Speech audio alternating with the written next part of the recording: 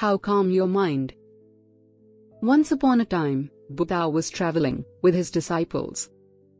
They saw a lake that supplied water to the nearby villages.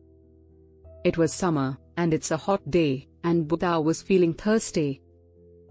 He asked one of his disciples to fetch water from the lake.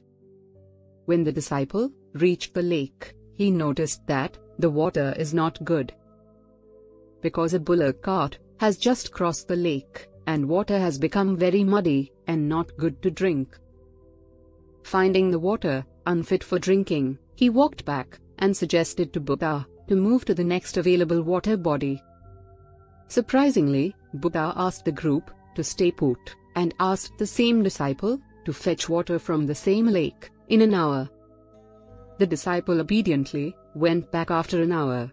This time also, he found that the waters were muddy, though a lot less than earlier. Buddha asked him to go back in another hour. The third time, the disciple found that the mud had settled down and the water was clear enough to be used for drinking.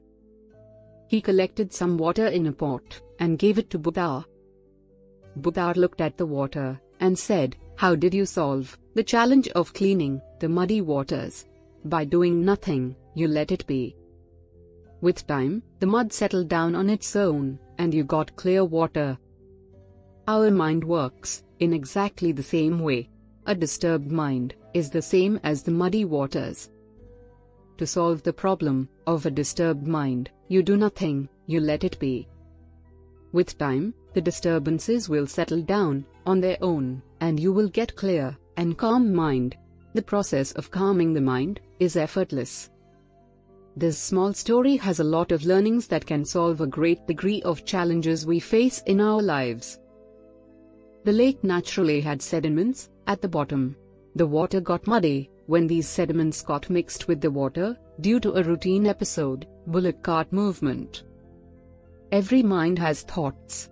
It is natural and normal for the mind to be disturbed due to episodes of life that unsettle these thoughts. When the water is muddy, it is unsuitable for consumption. When in a disturbed state, the mind is unsuitable for usage.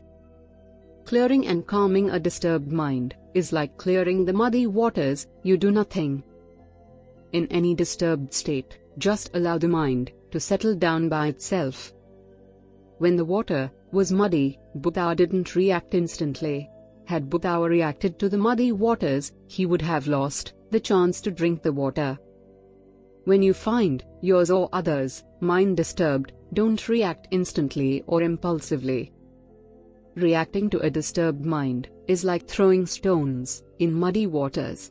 It muddies the water even more. Even the muddiest waters get clear with time. Even the most disturbed mind can return to a calm state with time. The muddy water wasn't the real problem, the real challenge was to show patience long enough for the mud to settle down and the water to get clear. A disturbed mind is never the real problem. The real challenge is to show patience long enough for the thoughts and disturbances to settle down and the mind to get clear. A situation is never pleasant or unpleasant by itself, the mind state makes it so. Do you relate to these points? Please leave your comments in the comments box below so that I can learn from your experience.